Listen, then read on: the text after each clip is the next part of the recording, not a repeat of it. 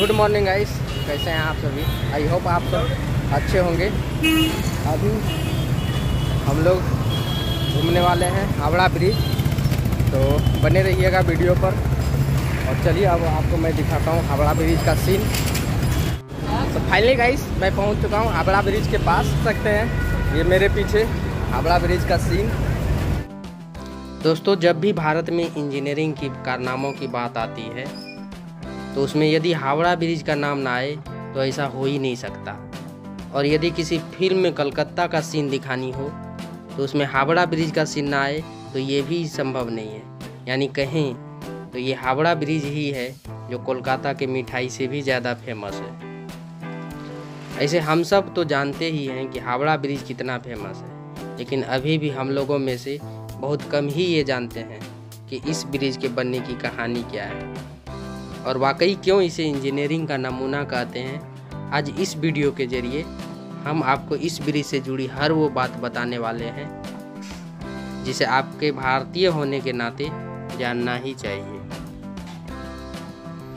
कोलकाता और हावड़ा के बीच बहने वाली ये नदी जो, ये हुगली नदी के नाम से जाना जाता है। यानी पहले हुगली नदी पर कोई ब्रिज नहीं था।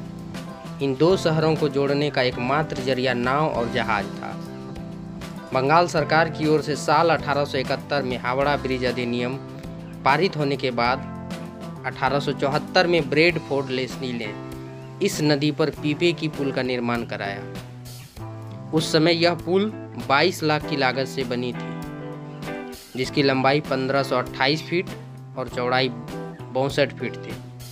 फिर 1906 में हावड़ा स्टेशन बना और धीरे धीरे लोगों की आवाजाही और ट्रैफ़िक बढ़ने लगी। तब इस नदी पर एक फ्लोटिंग ब्रिज यानी तैरता हुआ ब्रिज बनाने का फैसला लिया गया। लेकिन पहला विश्व युद्ध होने के बाद इस ब्रिज का काम शुरू नहीं हुआ। फिर 1922 में न्यू हावड़ा ब्रिज कमीशन का गठन हुआ। फिर हावड़ा ब्रिज के लिए टेंडर जारी किया गया। फिर इस ब्रिज को बनाने की ज़िम्मेदारी ब्रेथ wait burn Jason construction company को सौंपा गया। अब अगर बात करें इस ब्रिज को बनाने की तो इसमें 26,500 टन स्टील का इस्तेमाल किया गया था। अब उस समय इतना स्टील इकट्ठा करना बहुत मुश्किल का काम था लेकिन पुल का निर्माण भी बहुत ज़रूरी थी। इसलिए भारत की सबसे बड़ी स्टील बनाने वाली इकलौती company Tata steel company steel बेचने की बात कही और इस तरह से टाटा स्टील कंपनी तेईस हज़ार पाँच सौ टन स्टील की सप्लाई की। यानी अगर देखें तो यह ब्रिज एक नज़र से टाटा स्टील का ही बना है।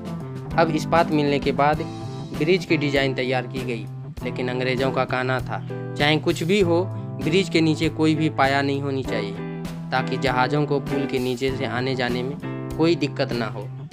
और यही वजह है कि पुल के दोनों तरफ़ ही दो दो पाया बनाया गया है, यानी ये हावड़ा ब्रिज केवल चार पाया पर ही खड़ा है। इस ब्रिज की ऊंचाई 280 फीट है, इसके दो पाया के बीच की दूरी 1500 फीट है। जिसके बीच एक भी खंबा नहीं है। और इस ब्रिज के बारे में बताया जाता है कि गर्मी के दिनों में इस ब्रिज की चौड़ाई तीन से चार फीट तक बढ़ जाती है और ये अपने आप में अजूबा है, क्योंकि पिछले एक सदी से पुल ऐसे ही ज्यों के त्यों खड़ा है। और सबसे बड़ी हैरान कर देने वाली बात यह है कि पुल के निर्माण में स्टील के प्लेटों को जोड़ने के लिए नट बोल्ट के बजाय इसमें स्टील का ही रिपीट का इस्तेमाल किया गया है। हावड़ा ब्रिज दुनिया का एकमात्र ऐसा ब्रिज है, जिसका अभी तक उद्घाटन नहीं हुआ है। क्योंकि जब ये पुल बनकर तैयार हुआ था, उस समय दूसरा विश्व युद्ध होने को बिल्कुल तैयार था। इस युद्ध के दौरान जापानी सेना इस पर भारी बमबारी भी की, लेकिन इस ब्रिज पर कुछ खास नुकसान देखने को नहीं मिला। जब यह ब्रिज बनकर पूरी तरह तैयार हो गया, तब इसका नाम न्यू हावड़ा ब्रिज रखा गया। लेकिन वही 14 जून 1965 को गुरु रविंद्रनाथ टैगोर के नाम पर इस पुल का नाम रविंद्र सेतु कर दिया गया। लेकिन आज भी लोग इसे हावड़ा ब्रिज के नाम से ही जानते हैं। इस ब्रिज की रोचक बात यह है कि रोज़ाना आज सवा लाख से ज़्यादा गाड़ियाँ और पाँच लाख से ज़्यादा आदमी इस पुल पर से गुजरती है। इस पुल से जुड़ी एक और रहस्य की बात है कि इस ब्रिज को दिन के 12 बजे और रात के 12 बजे बंद कर दिया जाता है। इसके पीछे की जो कारण है, इसके अनुसार हावड़ा ब्रिज बनाने वाले इंजीनियर्स ने इस पुल के बन जाने के बाद कहा था कि यदि ये पुल गिरता है तो यह 12 बजे ही गिरेगा।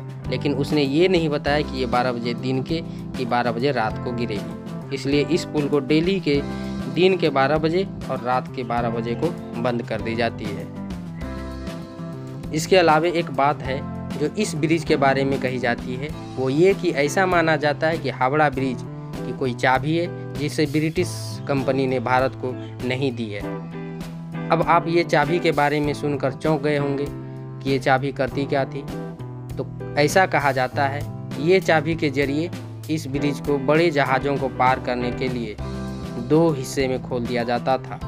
खैर, इस बात की कोई आधिकारिक पुष्टि नहीं हुई है।